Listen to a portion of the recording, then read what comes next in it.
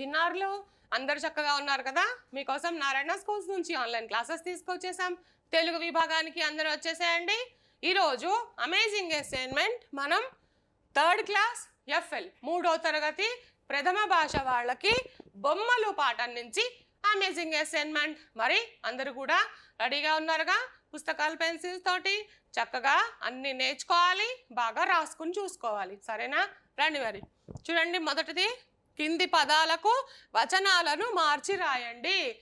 వచనాలు తెలుసు కదా? ఏకవచనం బహువచనం. సో ఇప్పుడు ఇచ్చిన పదాలకి ఏకవచనం ఇస్తే బహువచనం రాయాలి బహువచనం ఇస్తే ఏకవచనం రాయాలి. రండి మరి రాసేద్దాం. మొట్టమొదట చూడండి. బొమ్మ.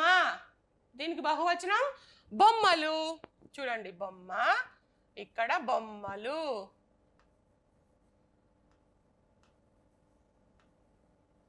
తర్వాత చూడండి. స్నేహితులు స్నేహితులు స్నేహితుడు.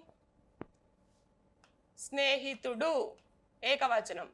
బహువచనం ఇస్తే ఏకవచనం. ఏకవచనం ఇస్తే బహువచనం రాయాలి. తర్వాత చూడండి మూడోది. జిల్లాలు. జిల్లా. జిల్లాలు బహువచనం కదా. జిల్లా ఏకవచనం. జిల్లా. నాలుగవది. దేవత ఏకవచనం. బహువచనం దేవతలు. దేవత దేవతలు. తర్వాత ఐదవది కర్రలు బహువచనం. కర్ర ఏకవచనం. కర్రలు కర్ర. ఆరవది వస్త్రం ఏకవచనం. వస్త్రాలు బహువచనం. వస్త్రాలు. ఓకేనా? తర్వాత చూడండి. నేర్చుకున్నారు కదా ఏకవచనం బహువచనం ఎలా రాయాలో? నెక్స్ట్ కింది వాక్యాల్లో నామవాచక పదాలను గుర్తించండి. వాటి కింద గీత గీయండి. ఇక్కడ కొన్ని వాక్యాలు ఉన్నాయి. మీరు నామవాచక పదాలను గుర్తించి గీత గీయాలి.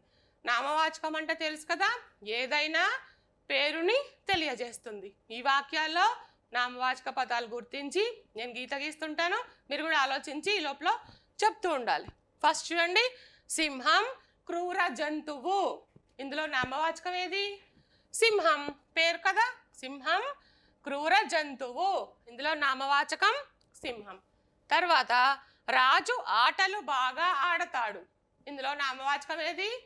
రాజు. పేరు కదా రాజు అనేది? తర్వాత అమల అందమైన అమ్మాయి. ఇందులో నామవాచక పదం? అమల. అమల అందమైన అమ్మాయి. అమల. తర్వాత నెమలి నాట్యం చేస్తుంది. ఇందులో నామవాచక పదం నెమలి. లాస్ట్ హైదరాబాద్ మహానగరం. ఇందులో నామవాచక పదం హైదరాబాద్.